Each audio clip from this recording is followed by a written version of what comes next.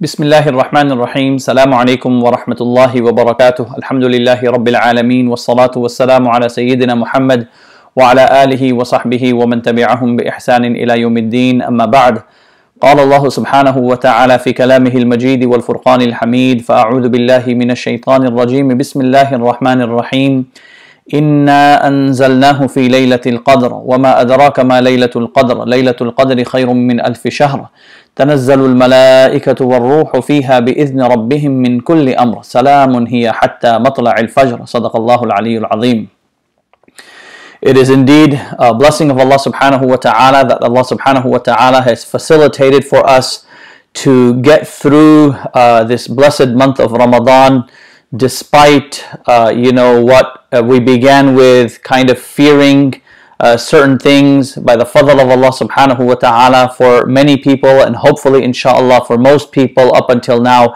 it's been a blessed Ramadan and we have been able to do certain things that we haven't been able to do in the past and we have valued doing those things inshallah.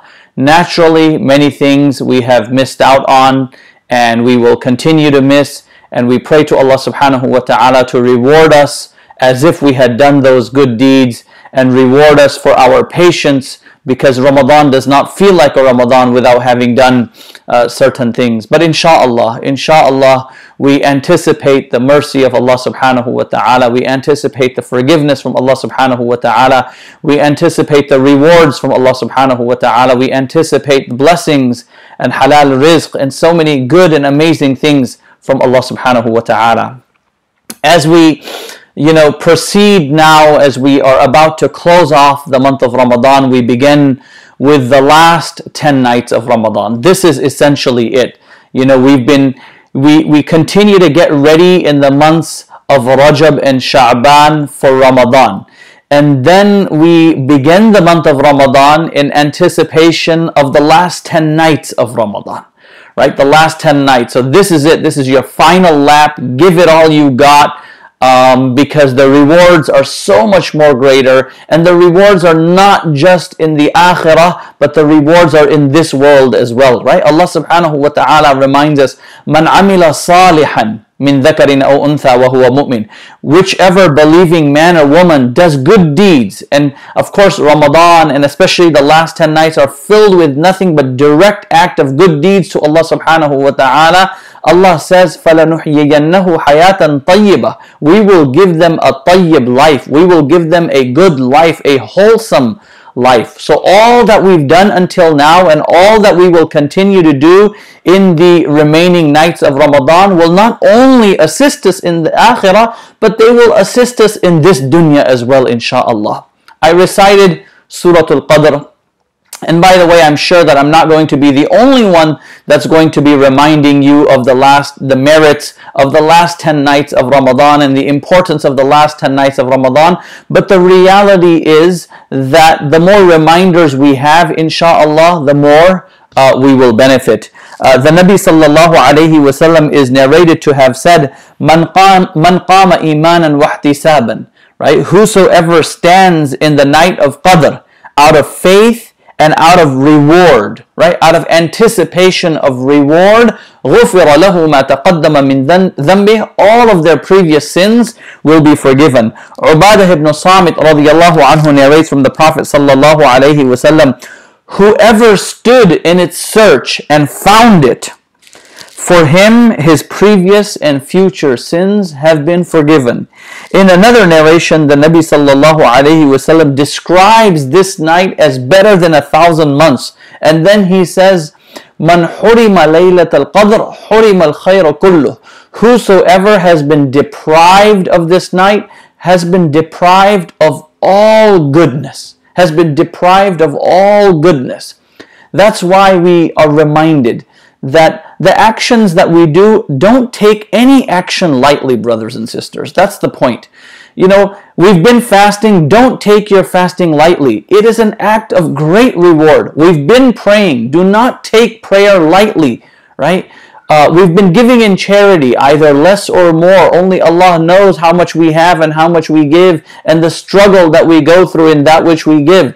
Don't take that lightly. All of that is rewarded by Allah subhanahu wa ta'ala. Right? All of that is rewarded by Allah subhanahu wa ta'ala. And every extra two rak'ah that you and I will pray in these nights, rewarded by Allah subhanahu wa ta'ala. Any effort that we make to pray Isha in congregation, rewarded by Allah.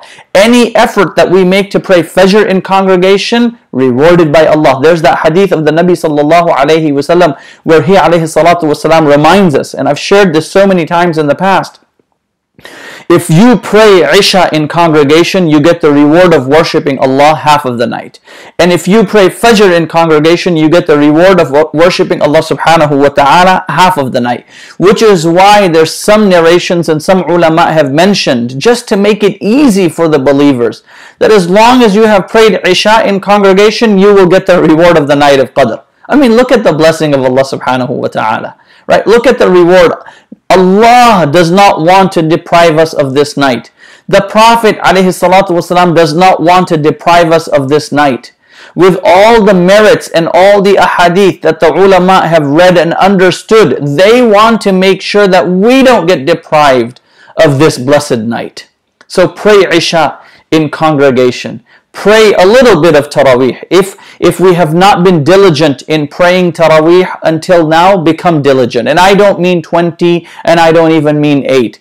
Become diligent. Let there not be a single night from here onwards until the end of Ramadan that we don't pray at least two. If you can pray more, pray more. Right? If you Imam Malik was known to have prayed up to 41 rak'ahs. But if you can't, pray more than two, at least two. Don't go to sleep without having prayed two rak'ah of tarawih. If you have been reciting some Quran, recite a little more. If you've been reading the translation, add a little more to it. In other words, do something extra to receive the extra. That's all. Do a little extra to receive a little extra gift from Allah subhanahu wa ta'ala. And the gift is that of forgiveness. The gift is that of forgiveness.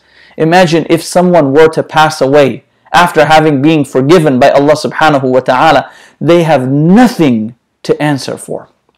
Which is why, you know, uh, one of our teachers would mention that all, all that most human beings will be accountable for is from the last moment they made forgiveness to Allah subhanahu wa ta'ala until they pass away. Because Ramadan to Ramadan, all the past is forgiven. Hajj to Hajj, right? All your past is forgiven. Toba to Toba, all major sins are forgiven. So the only thing that believers may remain accountable for is from that last moment you made istighfar and Toba till the moment an individual passes away. That's all you'll be accountable for. And then also keep in mind that some of us, some people have been feeling a little uneasy and guilty. Oh, we haven't been able to pray Taraweeh this month. Yeah, you have. You've been praying Taraweeh at home. And then people say that, oh, we've only been reciting the small surahs. What does that mean? Have you not been reciting the Quran in your voluntary prayers? Have you not, what else, what have you been reciting? You've been reciting the Quran in your voluntary prayers. While some people may say small surahs or only surahs that I know. What are you saying? You're reciting the word of God. You're reciting the final revelation of Allah. You're reciting Al Quran in your prayers. Why would Allah not reward you? That's why Allah subhanahu wa ta'ala reminds us in the Quran, فَقْرَؤُوا مَا تَيَسَّرَ مِنْهِ Recite from the Quran which is easy. And we are reciting whatever is easy for us. That which is that which we know is easy for us. That will be our reward with Allah subhanahu wa ta'ala. And may this be for those of us that don't know a lot of Quran or have memorized a little bit of Quran in the past and have forgotten various chapters, may this month be, right, a reason for us, right? May this month be a reason for us to go back to memorize those surahs or memorize a little more than what we already know or memorize some of those surahs that we've been, we've been hearing again and again but we, ha- we haven't actually formally sat down and gone through it you know honestly if i can while I'm talking about the night of Qadr, if we can make a lifelong goal of memorizing just two surahs, brothers and sisters, just two surahs, Yasin and Mulk. Yasin and Mulk. Among all the verses of the Quran, uh, and of course the smaller surahs, Falaq and Nas and Ayatul Kursi, we all know those, but I'm talking about lengthier surahs. Yasin, and Mulk. Make it a lifelong goal and get started. If you memorize one line a month, one line a month, you may be done in 10 years from now, which is not a lot because inshallah we have many, many more years to live. But imagine if you were to memorize one line a week, you would memorize 52 lines in the course of one year. You would be done in a few years. Because of all the surahs of the Quran, right, these are surahs that the Prophet ﷺ reminded us to recite regularly every day. Yasin for ease in your daily affairs, and Suratul Mulk to, to be protected from the punishment of the grave, right? That's what the Nabi والسلام, says that it, it was it, be, it was my desire, it is my desire that these 30 verses be in the heart of every believer, Surah Al-Mulk. Of course, there's other surahs that contain a lot of merit, Surah Al-Waqi'ah and Surah Kahf as well, and so on and so forth. But these two, Yasin and Mulk, if we can get those down.